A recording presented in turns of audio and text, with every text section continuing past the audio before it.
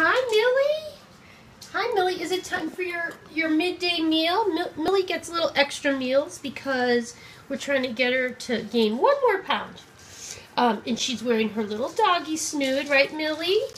And um, Millie's got very itchy skin, and we went to the homeopathic vet, and they have her on a limited ingredient food. So right here is um, it's ground turkey and potato cooked up Oh my gosh, she loves it. Okay, hey Millie, sit. Millie, sit. Hey Millie, can you sit? Millie, sit. Millie, sit. Millie, sit. She doesn't know. You know sit. Here. Good, sit. Good girl. There she goes. Oh, wiggy waggy tail. Wiggy waggy. Wiggy waggy tail. Good girl.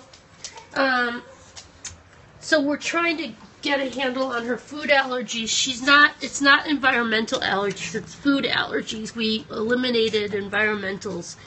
Um, but little Millie is looking for her forever home. Maybe somebody will see this and go to campcocker.com to read about Millie's bio and the Camp Cocker adoption process. Look at her go. She loves that food. Ooh, nothing better than a home cooked meal. Good girl, Millie. Look at her tail wiggy waggy. Hey, Millie. How's that? Was that good? You can take your snoot off? Okay.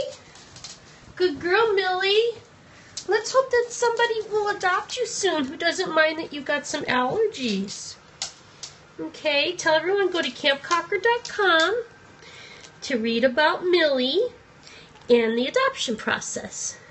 Okay, have a good Friday, everybody.